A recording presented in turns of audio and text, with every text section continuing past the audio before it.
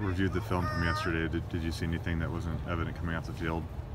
Uh, nah, not not really. You know, I thought that uh, um, well, it was more consistent than the first one. I thought we tackled well. I thought that we, uh, I thought the first O line played pretty well.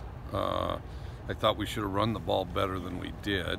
Uh, they're playing all kinds of games and trying to jam it up, and they did a good job of that. I thought. Uh, I thought we threw the ball well. Generally caught it well. Had a few drops. Um, but it was a good overall scrimmage. It was good work, and you know both sides uh, stressed each other a lot, which is what you want to see. You, you, had said that Gordon had the better day. I mean, did, did that hold true watching film? Did, did, did you still come away from the, the film review thinking he was a little bit better than Gage yesterday? Well, he's real comfortable back there. He's played real comfortable, and he's been on kind of a roll for the last week and a half. So I think he's uh, really done a good job. If you could compare uh, him at this point uh, right now to, to, last year, where do you think he's made the biggest strides? And he looked pretty strong in the spring too. Did, did you think that's when he really started to kind of show everything that he's learned in, in this offense the past couple of years? Yeah, uh, he, he's continued to improve. I, the biggest thing is consistency. He's gotten consistent.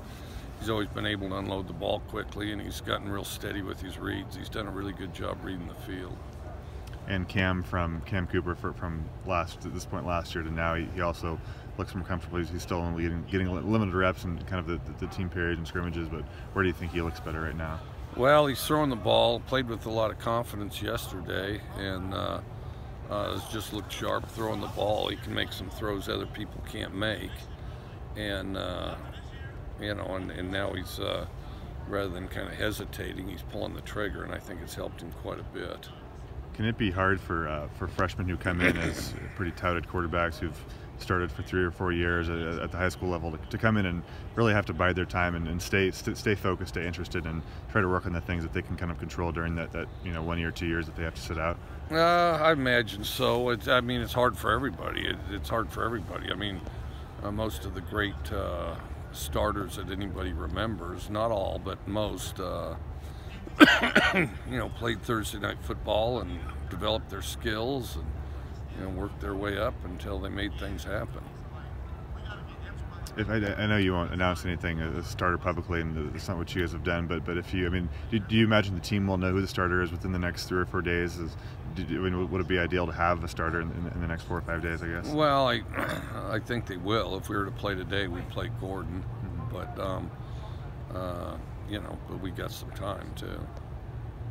What, is, what does it say too about about his patience to kind of uh, sit behind Gardner and, and, and, really learn and kind of be a sponge and soak up everything that the other quarterbacks have, have taught him?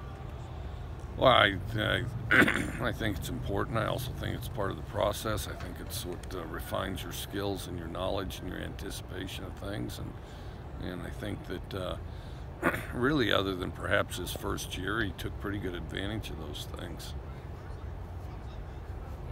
Markov or Marsh? Oh, Markov oh, yeah, and yeah, Marsh are on scholarship. Yeah. Yeah. What, what have those two guys shown you?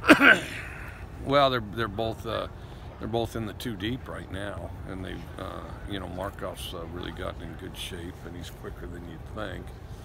Um, and then uh, and figured into special teams last year, and then Armani has uh, you know just worked uh, relentlessly and has gotten better and better and better, and is just a real scrappy corner out there do you kind of come into fall camp with, with maybe a list of guys who, who are kind of on, on, on, the fringe of earning scholarships and then maybe those guys earn it throughout the first two two or three weeks of camp?